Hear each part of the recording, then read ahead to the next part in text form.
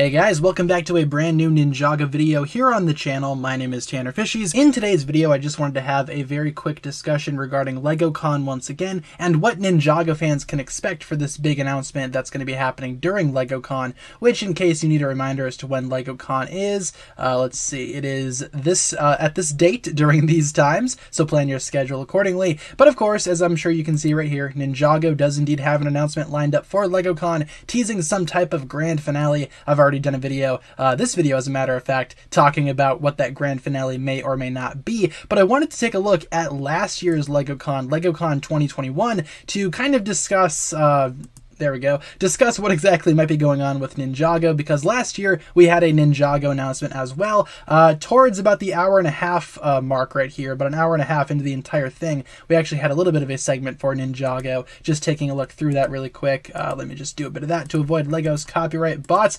Essentially, last year for 2021, it was the big Ninjago 10-year uh, anniversary, as I'm sure you guys know, and they had a little bit of a highlight reel celebrating Ninjago's 10 years, talking about some of the high points of the series, and and also teasing Seabound, which at the time of release of LegoCon, yeah, Seabound had already come out, but considering how Ninjago Crystalized has not come out just yet, I think it's safe to say that we can expect some type of Ninjago Crystalized teaser, especially if LegoCon is going to be a little bit similar to how it was back then in 2021, a year ago. Yeah, we're probably going to get some type of, uh, uh, thank you, Redux Gaming, for subscribing. There you go, shout out to you. We're probably going to get some type of big uh, Ninjago teaser for Crystalized, probably just about a minute long teaser, maybe even 30 seconds, and that'll probably probably be it, honestly. We'll probably also see that uh, that poster, that Avengers Endgame style poster, officially for the first time. Thank goodness. I've been waiting for an official announcement for that thing. And overall, guys, I'm not really uh, expecting much else. Honestly, LegoCon last year was kind of disappointing, as you can see by these likes versus dislikes.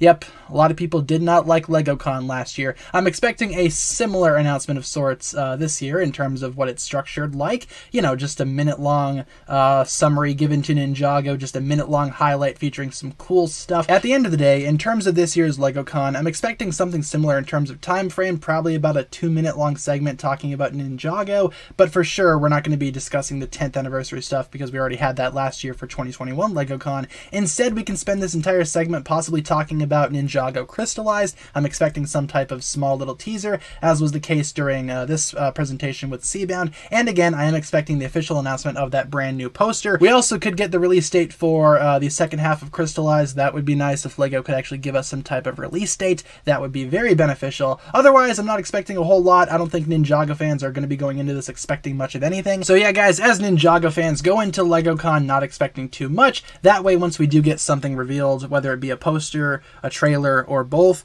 maybe it could be a pleasant surprise. Either way, keep your expectations in check. I will be covering LegoCon 2022's big Ninjago announcement whenever that may or may not happen. I will let you guys know accordingly accordingly. In the meantime, guys, thank you all so much for tuning into today's video. Leave a comment down below discussing what exactly you think they're going to be showing off for Ninjago Crystalized at LegoCon 2022. Thank you all so much for watching today's video. Once again, you guys, my name is Tanner Fishies, and I will talk to you guys again later. Peace.